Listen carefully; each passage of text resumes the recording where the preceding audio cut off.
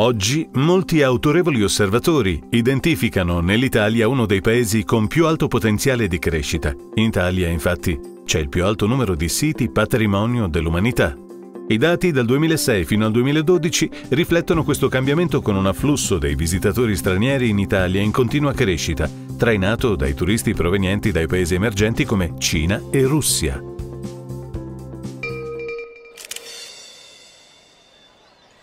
Paesi emergenti sono sicuramente una fetta di domanda sempre maggiore. Qualche anno fa russi praticamente se ne erano pochi e poi hanno avuto un trend di crescita importante, adesso sono i cinesi e i brasiliani ad esempio che stanno dominando i nuovi flussi di ingresso e eh, soprattutto diventano sempre più high spender, quindi poco alla volta sono entrati, inizieranno anche a spendere, quindi non entrano a livello basso, entrano a livello medio-alto, sono proprio alto cosa che fino a qualche anno fa non ci si aspettava neanche, di cinesi in Italia e turismi c'erano pochissimi. Basta vedere adesso cosa sta succedendo con l'Expo e il flusso continuo di eh, persone che arrivano a questi paesi eh, recentemente industrializzati e in forte via di sviluppo.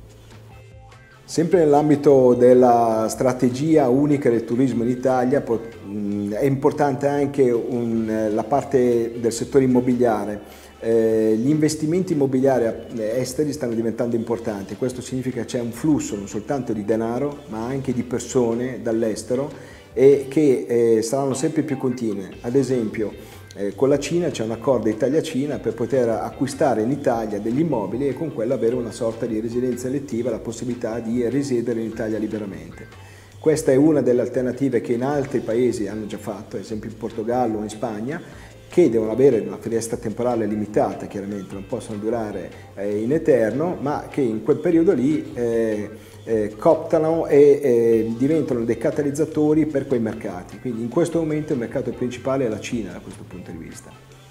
I, i turisti provenienti dai paesi emergenti stanno crescendo a doppia cifra, ehm, particolare sul nostro sito eh, cinesi e indiani crescono del 30% anno su anno, ehm, mentre a livello generale crescono del 10-15%.